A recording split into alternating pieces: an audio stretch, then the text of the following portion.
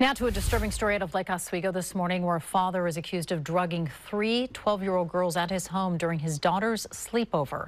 Fox's Bonnie Silkman is joining us now in studio after looking over court documents. Bonnie, good morning. Good morning. That's right. A father in Lake Oswego, 57-year-old Michael Meyden, turned himself in this week after being accused of lacing mango smoothies with a drug that's usually used to treat insomnia and panic attacks, and then giving those drinks to three 12-year-old girls at his daughter's sleepover.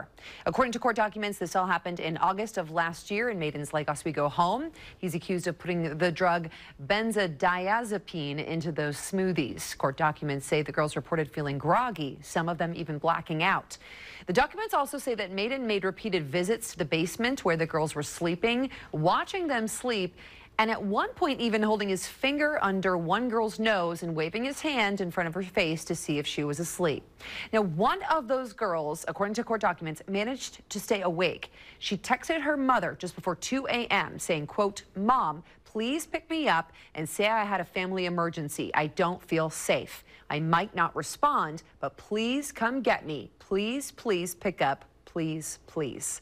The documents also say that she then contacted a family friend who picked her up and took her home to wake her parents.